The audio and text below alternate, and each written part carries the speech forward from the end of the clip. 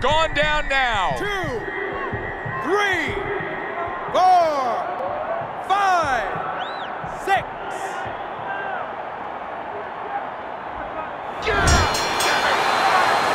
Just what he needed.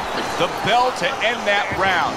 He was taking a lot of punishment there. Well, if he hit a bad driver, you know, he was a golfer, you say he has to have a short memory. Forget about it. There's another hole coming up.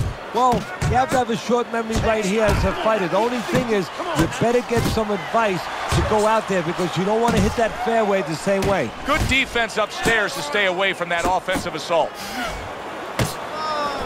Solid straight right hand. Keep your hands up. Keep your hands up.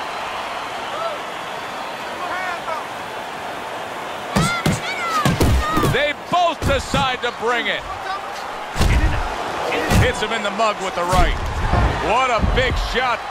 Wow, he goes down again. He's going to be caught the elevator fight. Up and down all night. Get up, Five.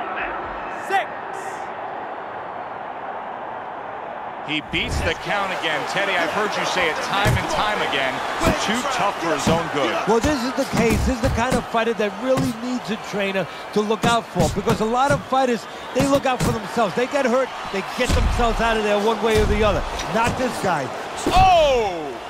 Throw the scorecards out. Bishop is down and looks to be out. Two, three, four, five, six, seven, eight. He's being dominated now.